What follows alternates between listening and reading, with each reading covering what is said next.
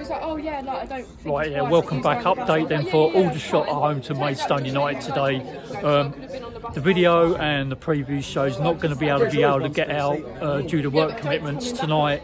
It's going to be done either next Friday night or next Sunday once I get back from the weekender at Gateshead. So all I'm just saying that uh, it will be out then next weekend, the video. So apologies about that, but it's just due at the moment to work commitments. But Spikey Barmy Army will be back then next weekend.